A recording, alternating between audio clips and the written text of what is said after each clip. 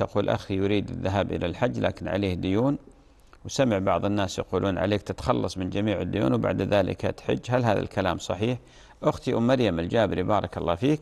يعني هذا الكلام آه، يعني آه، محتمل الصحة ومحتمل عدم الصحة. محتمل الصحة آه، متى؟ إذا كان على أخيك دين حال والناس يطالبونه وليس عنده قدرة على الحج إلا وليس عنده قدرة على سدادهم إذا حج. يعني إذا أراد الحج ما يستطيع يسددهم وإذا سددهم ما يستطيع الحج مثلا. فلذلك أخت الفاضل نعم يقدم حق الناس لأن حقوق العباد مبنية على المشاحة والمطالبة والمخاصمة والدعاوى. هذا حق لهم. فإذا كان عنده مبلغ هذا المبلغ حال. الآن قالوا له الآن ادفع الدين اللي عليك. فقال أنا أريد أن أحج. قالوا لا ادفع الدين.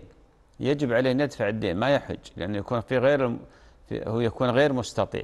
والله جل وعلا يقول ولله على الناس حج البيت من استطاع إليه سبيلا. هذه هذه الصورة الأولى. الصورة الثانية إذا كان الدين غير حال يعني هو مثل أقساط شهرية ها وعنده مبلغ يستطيع أن يحج فيه ولا يؤثر على هذه الأقساط مثلا لا لا ما لا ما له علاقة. هذا ما له علاقة. أو شخص ما حل الدين بعد. يعني في شخص يطلبه بعد ستة أشهر أو بعد سنة يكون الموعد. هو عنده مبلغ يستطيع يحج فيه يروح يحج ما فيها شيء. لا علاقة هذا بهذا. فتنبه قولي لأخيك يعني هذا التفصيل.